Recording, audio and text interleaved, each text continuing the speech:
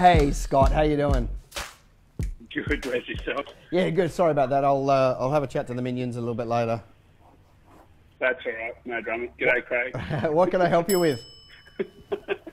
um, so we're trying to find a, a, manager for the Wagga site, which you know about. We're using Seek, Indeed, Facebook, etc. Um, we're having really no joy whatsoever, even getting applicants.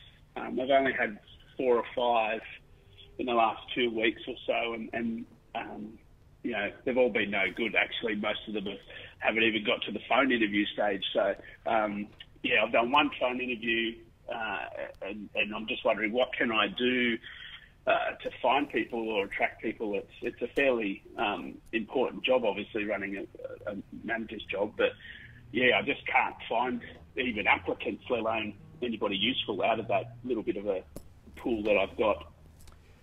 Yeah, um, I guess uh, the, the first thoughts that pop into my head are there's obviously headhunting. So is there is there anybody yeah. in town you could go and have coffee with to check if they are unhappy with their current uh, current boss, current company?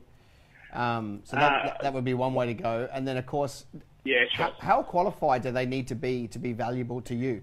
Like like some businesses, when it comes to being a manager, a manager just being a good manager is enough as a transferable skill to go to any industry.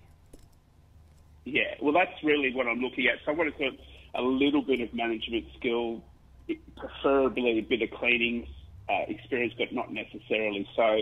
But yeah, someone who can definitely manage the clients and the team. They're the two biggest roles.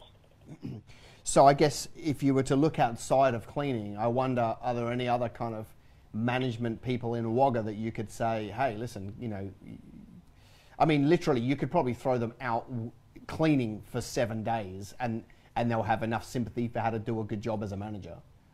Um, you just need yeah. somebody who knows how to schedule, you know, lead people, uh, those sort of things. So I'm just, I'm, I guess I'm just super curious to kind of go, do they need to have any experience in cleaning or should you just go out for, should you go out to the local person who's running the, you know, whatever, the, some, some sales team or some, you know, some project manager or something where the skill of management is transferable and then train them and, and, and I guess show them how to do the cleaning side, but they're just a good manager. Yeah, I think that's definitely an option. Um, I've always said you can, you know, teach anyone to clean. It's not that hard, really. It's not brain surgery. So um, if I don't have cleaning skills specifically, not necessarily a problem. So just, but, just in a way, like my yeah, thoughts are people skills. Yeah, the best sporting coaches weren't the best players necessarily. So you know, rather, yeah, rather than find somebody who's a good cleaner and bring them up as manager, which doesn't necessarily translate to the right skill set, right? Um, you know, you, you yeah. might be better off to find somebody who's a good manager and a secondary cleaner, and, and, and, and if they don't even have any experience cleaning, they're still human so they understand what cleaning is. It's not like we're trying to teach them, you know, neuroscience. We're trying to teach them Glen 20, Glen 20 and cloth and how to make sure you get into corners. You know, like it's it's it's yeah. it's a it's a nice simple business. So so I, I guess I guess as I'm shooting the breeze with you, I'm sitting here thinking, just go around town and say, hey, you know, keep your radar out for anybody who's a good manager in almost any capacity, and say, hey, listen, would you like a new opportunity to come and you know grow a division with me? And you'll you'll probably find some people that do. Yeah, yeah, no, that's that's a good option. Um, Otherwise, find other cleaning companies, ring them up, and say, "Hey, listen, I'm not trying to poach you, but can we have coffee?" Which is code for I'm probably trying to poach you.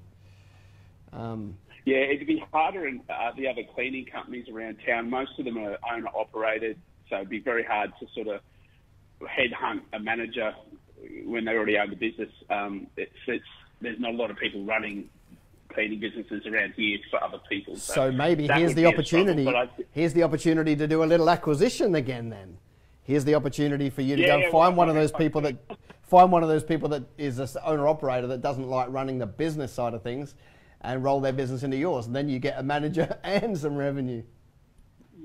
Yeah, yeah, now that that would be fun. I don't mind doing stuff like that. So yeah. that be, I'm always on the lookout for that anyway. Uh, the good, acquisition good. side of things, that is.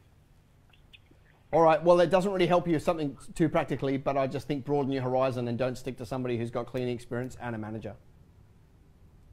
Yeah, yeah. No, I've, you, I've got some ideas. You might have to. You might have to actually grow them instead of find them off the shelf.